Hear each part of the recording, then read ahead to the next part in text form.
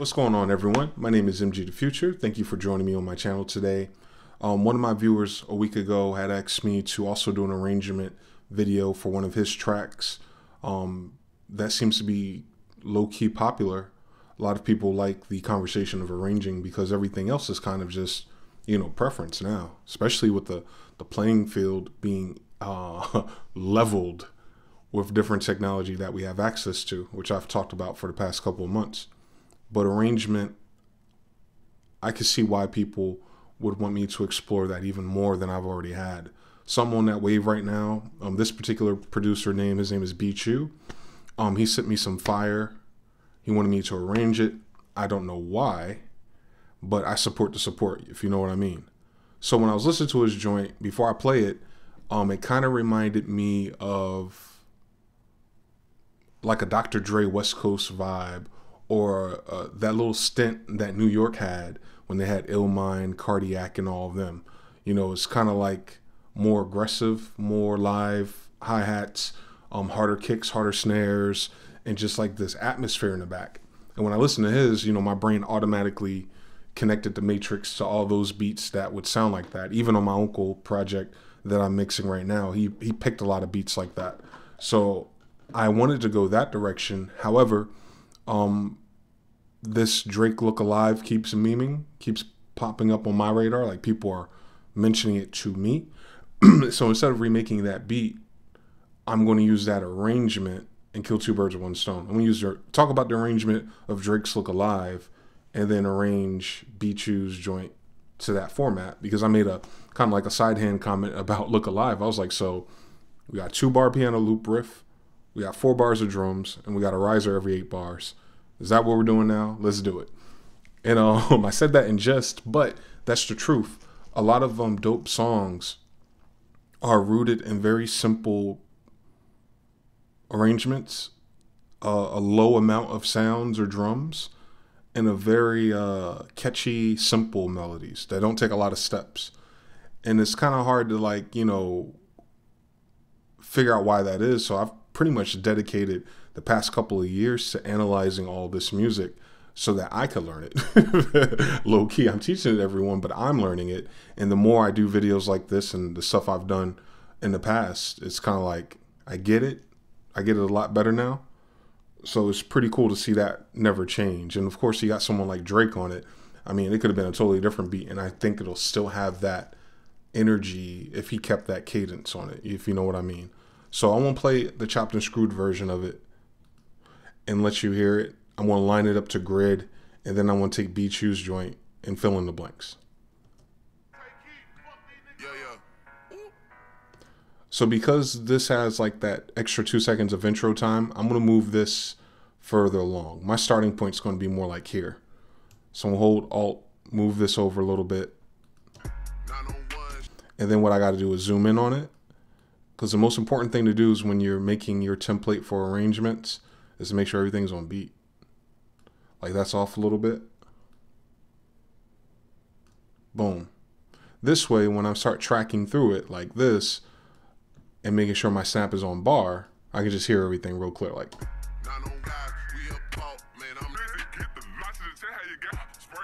So it's really easy to move through. Now what I need to do is make time markers. Usually you could right click right here and do it, but I think when you don't have one, you have to manually go here first.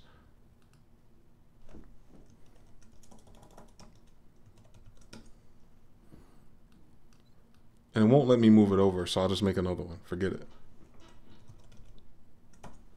Cool, so this is my real intro. I'm going to ignore that. And when I'm using this in 140 beats per minute, you're gonna notice like each of these are two bars instead of four. So what I might have to do is move this back down to 70 because I don't like that actually. I don't like it. I like looking at these blocks and knowing they're a bar each. So I just messed up my whole flow. It's all good though.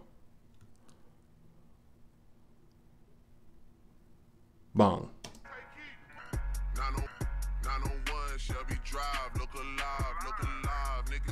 Banger. and it's not and it's not the piano. I can tell you it's not the piano doing that. So we got the intro.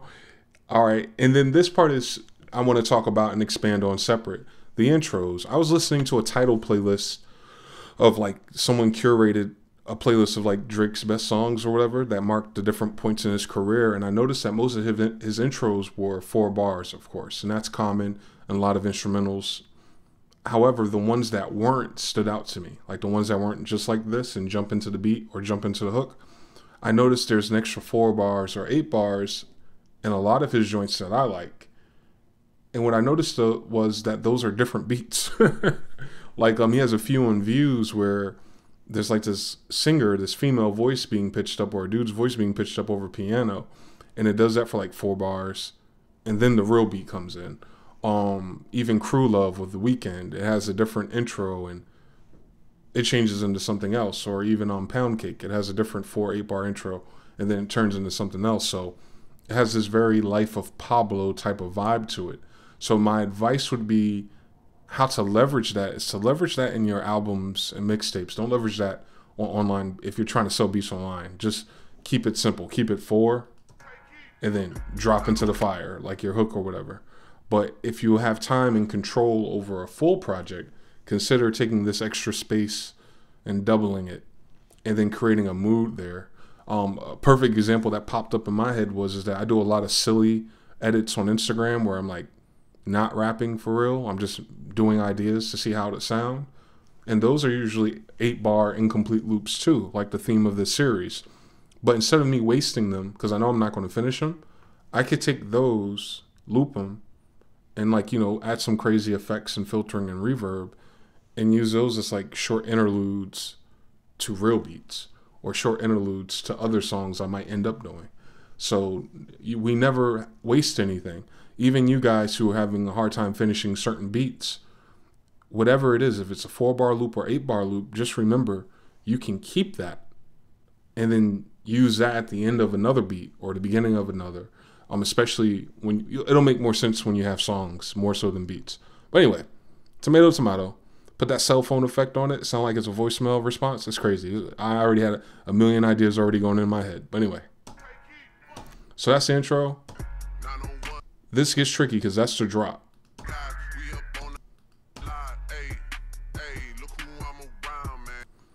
And it gets kind of trickier there because after eight bars, which is eight of these blocks, you think the verse would kick in. But this is the actual verse. And what I noticed was that Drake, as a songwriter, he reversed something. He reversed a different type of arrangement. And I thought it was really interesting that he did it this way, so much so that I'm probably going to use it from now on. So peep what he did here. We got the intro for four bars. We got the hook for eight bars. And then there's a bridge. And then it's the verse. And then we got this.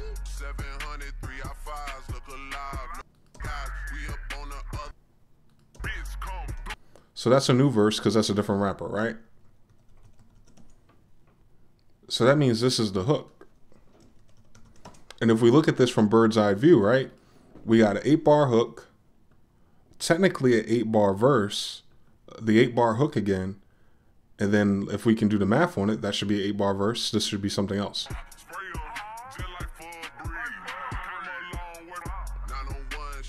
I see what they did. This rapper actually did 12. So he should have stopped right here and then Drake's bridge would have came in here. But now it's coming in here. So this is the bridge again or hook.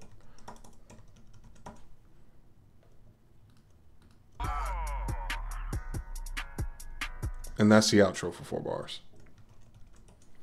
I'm going to call this a bridge so it makes sense in my head. But they ain't slick. They ain't slick.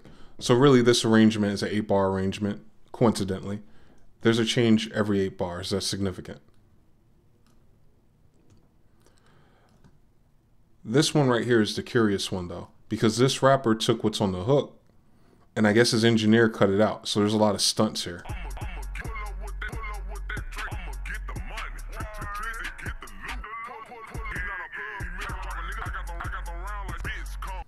Yeah, this track is a long eight bar hook.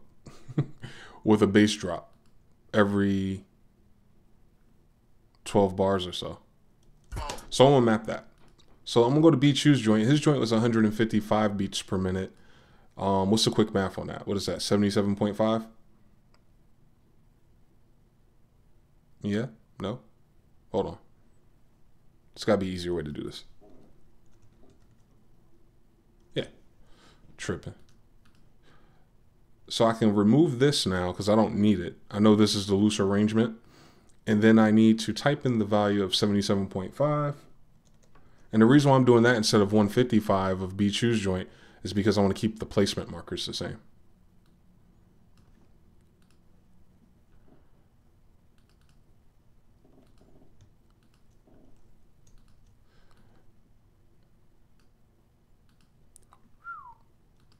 First thing I do when I import these is make sure they loop properly. That's always the hardest game in town when you're dealing with someone else's music.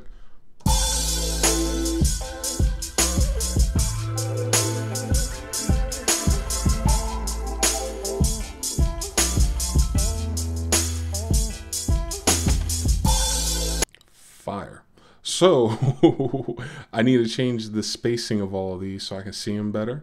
So I can kind of identify what these sounds are. What I like to do is put bass towards the bottom so it stands out so we can see that. In fact, let's gradient this so it's easier on my eyes. We're gonna do a gradient. Um, purple's always cool. Green is even cooler. Not helpful. They're not further away in the color spectrum.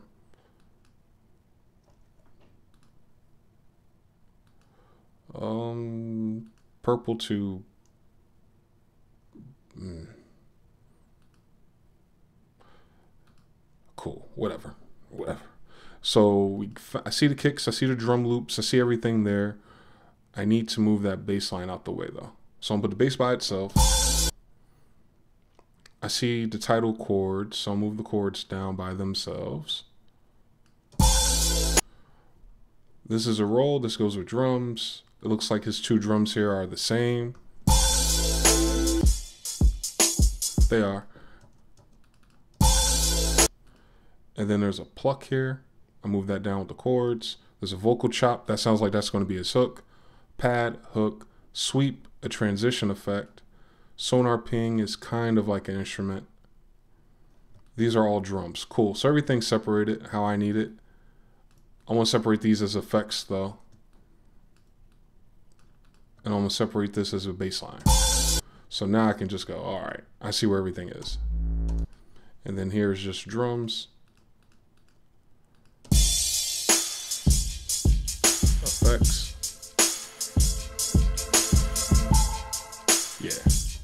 And this should be instruments.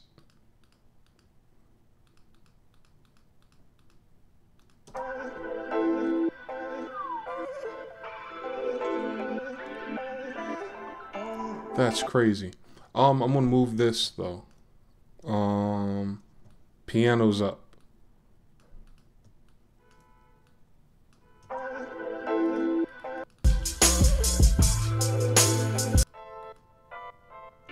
Cool.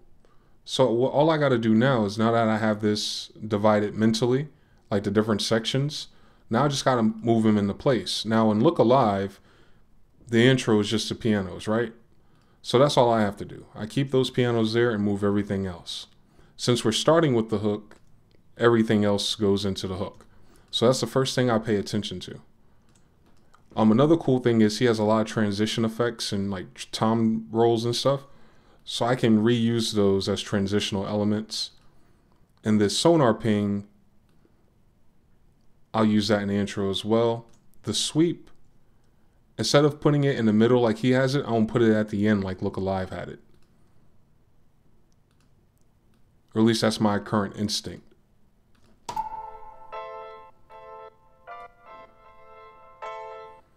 Then right here, your tag comes in. And the rapper's supposed to shout you out right here. Drop.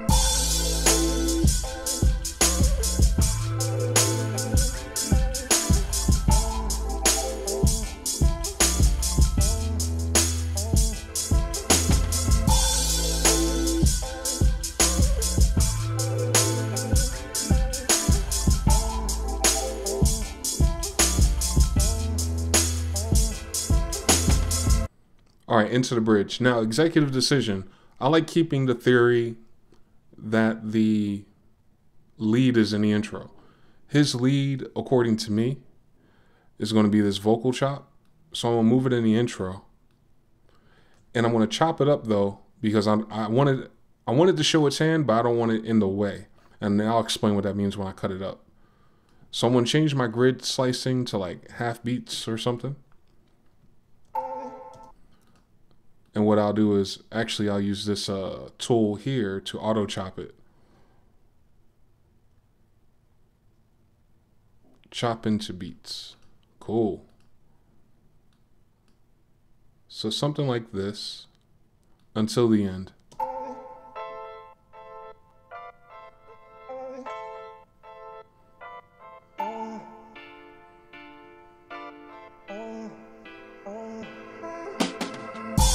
Cool, then I can drop all these. All right, and then it should come in with that energy from the tom roll.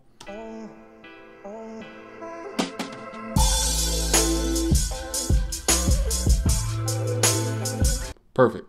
So now the bridge is going to be trickier because I'm trying to follow this song. but all I got to pay attention to is that it's 16 bars for a rapper, right? That's the only thing I really got to pay attention to. And then I can copy this. But I do want it to start in a bridge format. So what was cool about his track is that this sounds like a bridge without the vocal.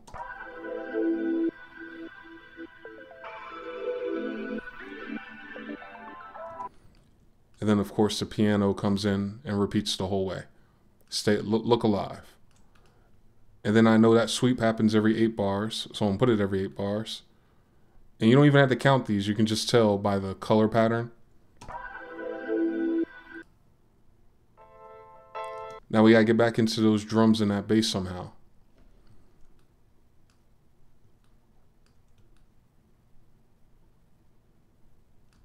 I'll switch my snap back to bar for now since I'm not making any cuts.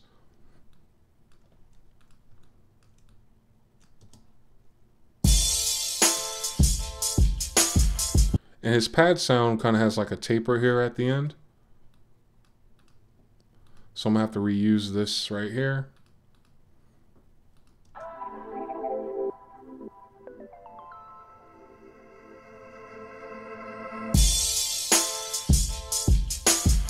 That's going to get tricky because that's going to break my every eight bars rule. But rules are meant to be broken. Alright, and then I need something to make this better. Let's try these drums.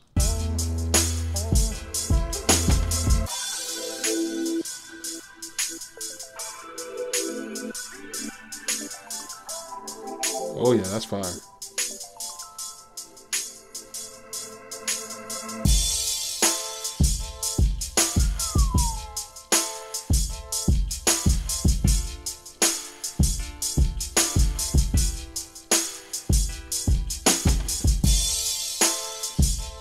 And since I'm not reusing any uh, transition effects here, because it kind of messed up my flow, I'm going to do a, a beat cut there.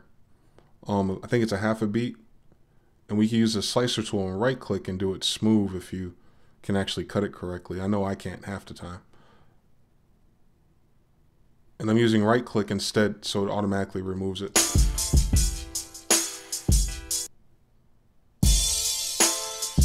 Oh yeah.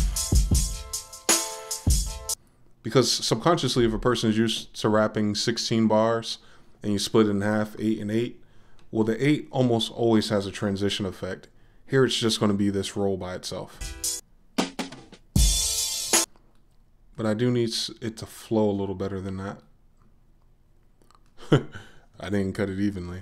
That's half the problem.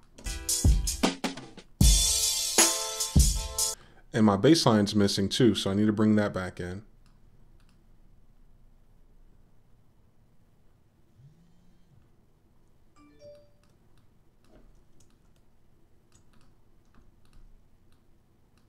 Back to bar mode because when you're zoomed in like this, you're not going to know if you're off a, a beat or not. There we go.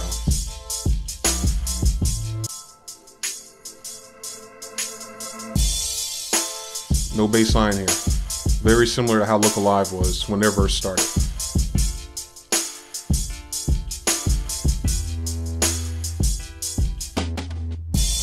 There we go.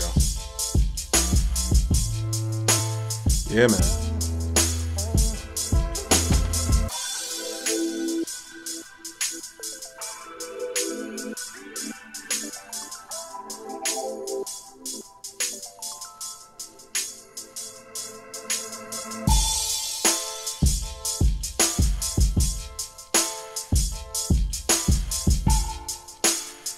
and that sonar is panned, so I'll use that as like a drum element.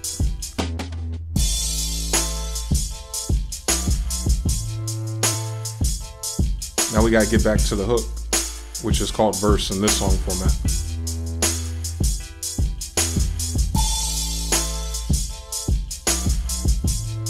And the perfect way to do it is to drop these.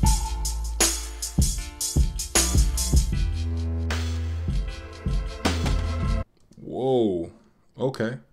Now I'm to copy and paste this, which has all the energy, but I'm to try to subtract energy from it because it's pretty much identical. So I'm going to try to do like the opposite. I actually want to get rid of all of this, like kind of thing.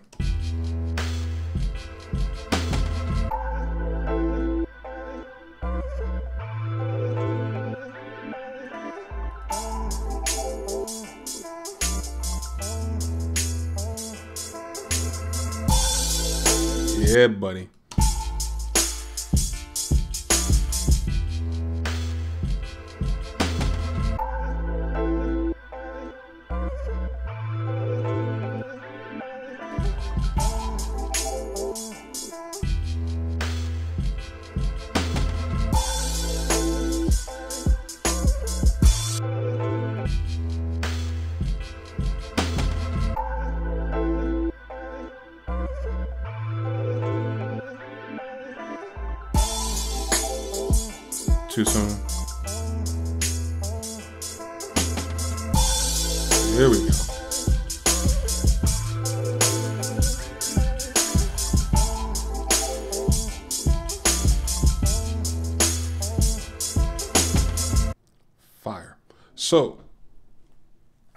Verse. These tags don't make sense anymore. So I'm going to remove this one. I could have sworn there was a way to move these. I was about to say. So my actual song looks like intro to the hook to a bridge that goes into a 12 bar verse. Together they're 16, 8 bar hook, back into a new verse, which would go here. But since Drake and them rapped four bars and other guy rapped 12, so they did 16 together outside of the refrains and stuff, um, this format won't be three minutes. However, to make it three minutes, just copy it twice. Like, don't go crazier than a two verse joint.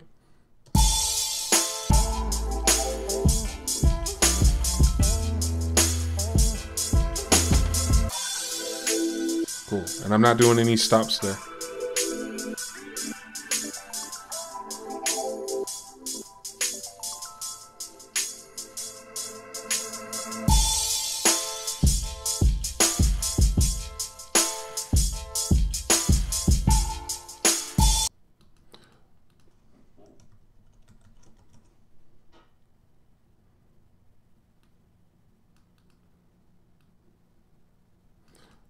Actually, I'll move this over.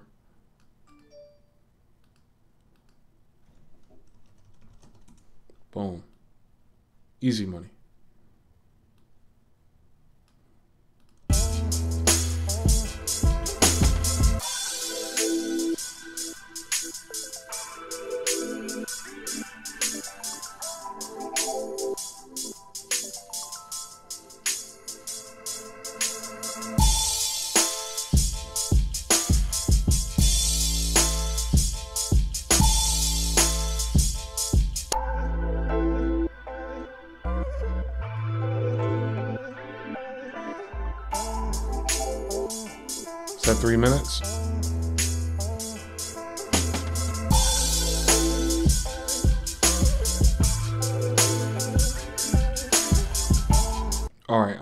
Stop there and I'll bring the hook from the beginning back because I'm doing like this Suedo bridge right here in the first two hooks.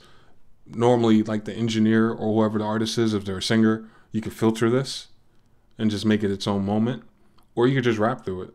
You know, we hear that a lot. But it's more painfully obvious that this right here, the hook, is different than this one. So it's two different moments, two different atmospheres. However, at the end of the song, they saying what they say or they're doing their refrain, and this is the hook. I don't want it to feel like it's going back into a bridge. I want it to keep going. So to do that, we just do a nice little stop at the end. And the stop means I'm removing audio. It's nothing crazy. You just change your grid back on to like a quarter beat and then use that right click trick to remove enough. You could change the amount. It really it really just based on where these uh, sounds and transients end. You can feel it. But it's real short though. That one more time.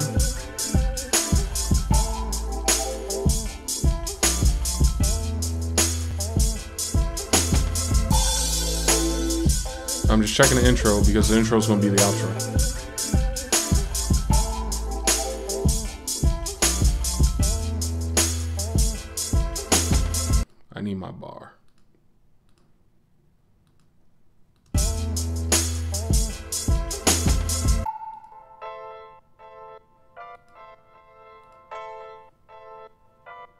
And just fade it out. Now, nine times out of ten, when this is a song, it's going to end somewhere around here, around 3:30 or so, and they could just fade that out. You don't need this to be there, but you do just in case they decide to keep talking. All right, and then one thing, this sonar ping, I don't want it in the hook no more. I just realized that. So it's fine here when everything's playing, but it's not fine when everything's not playing because it was just here.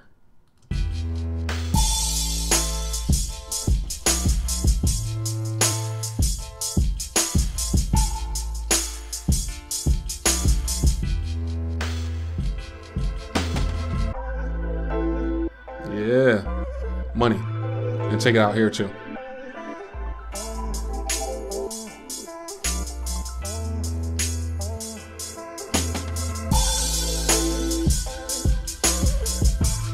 And they know that's the hook because the hook is the only one that has all these sounds besides the bridge. Same thing here. Outro is different because it's just a repeat. Boom. That's that, man.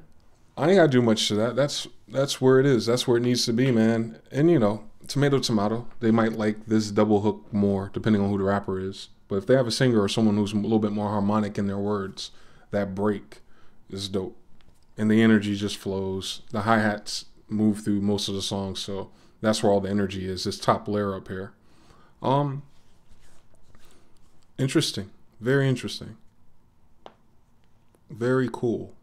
But yeah, I had to make some adjustments on the fly. I couldn't do it completely uh, look alive, but it has the same tendencies, exactly the same. The bass drop, where the bass drop is, the uh, every eight bars, there's a riser type thing going on, or some type of type of special effect.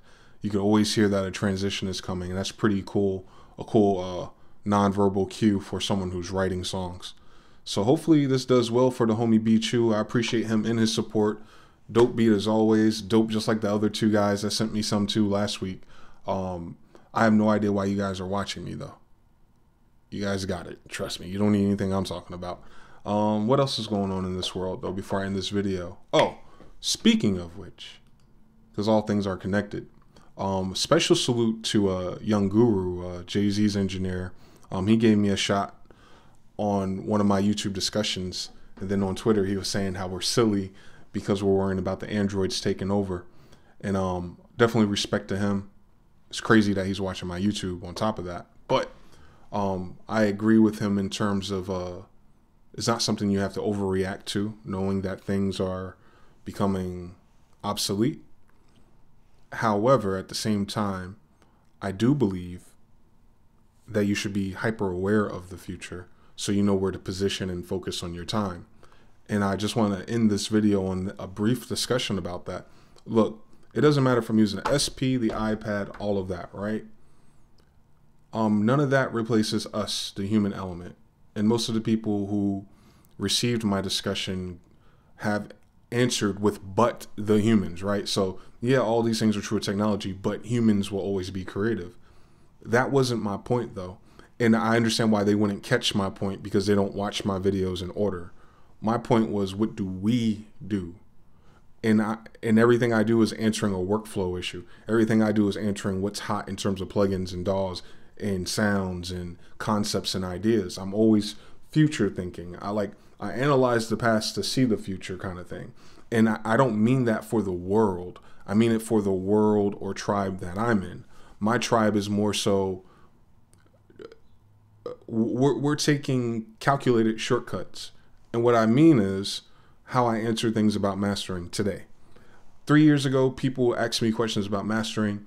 I suggested T-RackS because T-RackS had the tube modeled stuff and it sounded very interesting compared to everything else that was still kind of digital and sterile, like T-RackS versus Ozone. Well, if I'm doing hip hop, soul, and sampled beats and things before they became lo-fi, I would lean towards T-RackS because Ozone 5 or whatever it was was too clean at the time.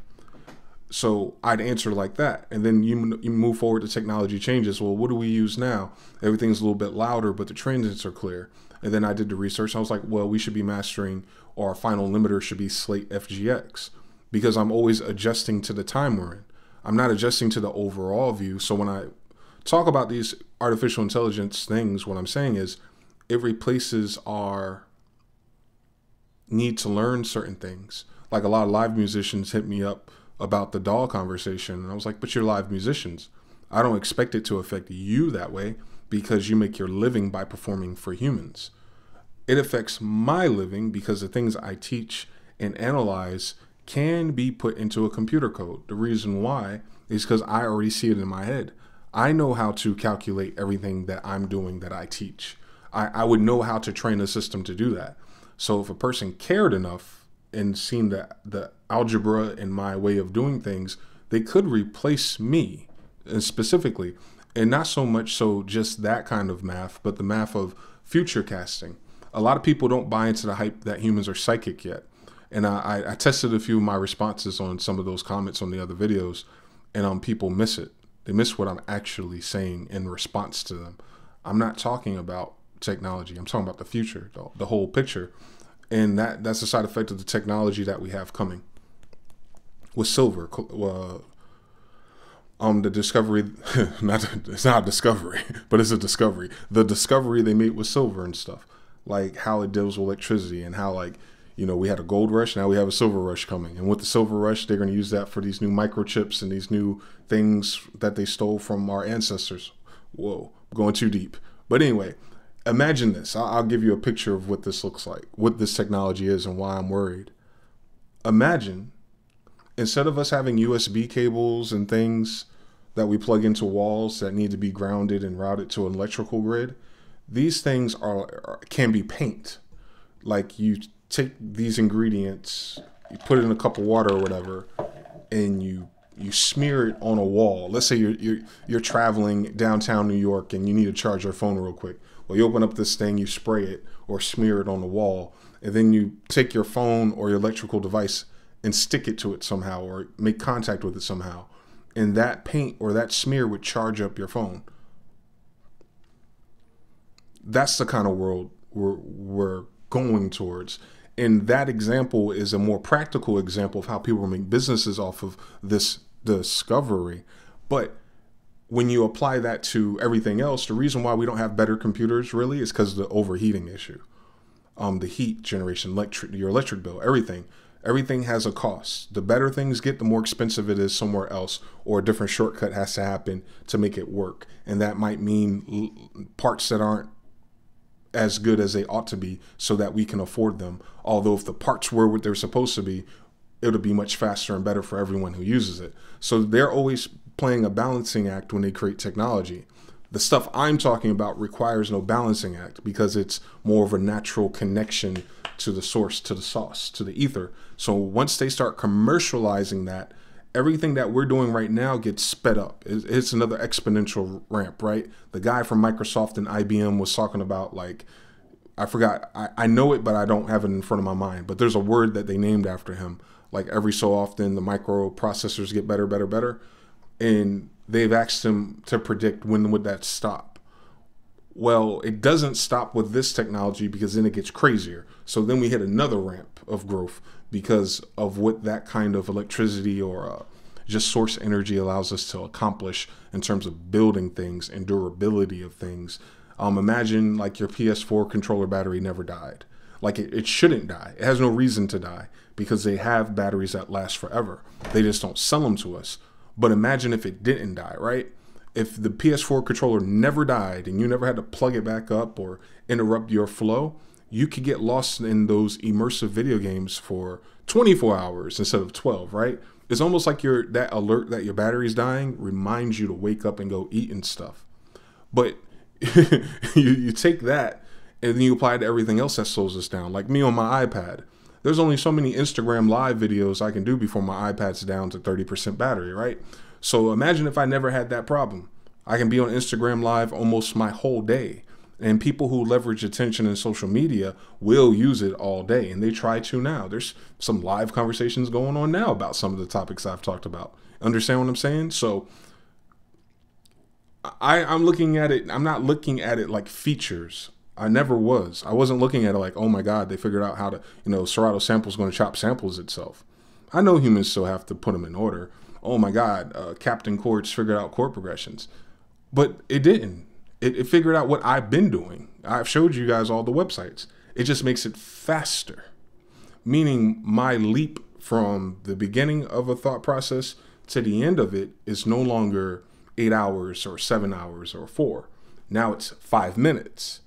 So, how much more can I do with those five minute chunks means I'm way more productive. That's why I'm happy for it. But we have to apply that same theory to people who develop as well because they have more money than us and they have more ideas than us and they can pay more people than us.